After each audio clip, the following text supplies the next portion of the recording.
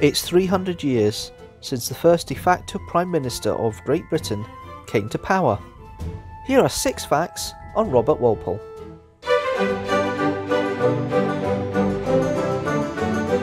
He was the son of Colonel Robert Walpole and Mary Burwell.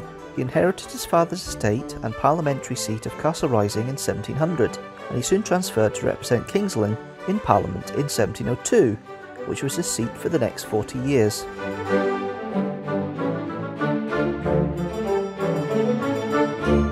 At the time, Parliament had two parties, the Tories and the Whigs, and Walpole was affiliated to the latter. When the Tories took power in January 1712, he was impeached for corruption as Secretary of War, found guilty, expelled from the Commons, and sent to the Tower of London. He was released after six months and became aligned to the new King George I in 1714.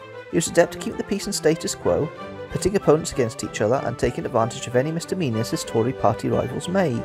This built up to his position of the First Lord of the Treasury and Chancellor of the Exchequer in 1721, the de facto Prime Minister of the country.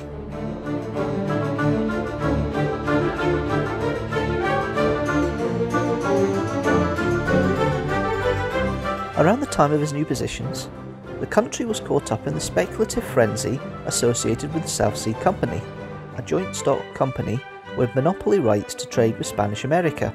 A scheme was set up in 1720 whereby the company would take charge of a large part of the national debt.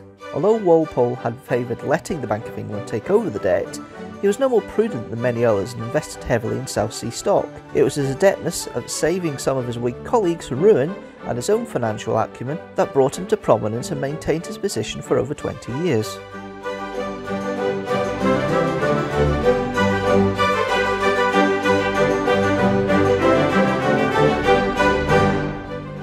He lived in Downing Street from 1735. 10 Downing Street was a gift from George II to Walpole personally, and it was Walpole's idea to make it the home of the First Lord of the Treasury and leader of the government.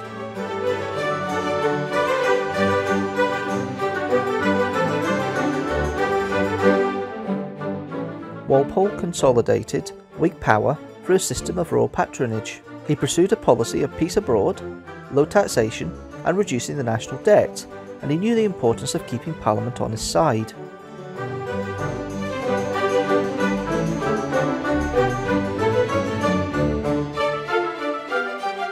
Opposition eventually began to develop within Walpole's own party, and a trade dispute with Spain was used by his critics to force him to declare war in 1739, known as the War of Jenkins' Ear. A poor general election result in 1741 made his position more unstable, a number of Whig politicians opposed Walpole's conduct of the war and he resigned in February 1742. He was created Earl of Orford in the same year and continued to maintain influence over George II until he died on the 18th of March 1745. Six Facts returns very soon. If you like this video don't forget to like it and share it with the hashtag TeamStructor and also hit that subscribe button so you know when a new video comes out.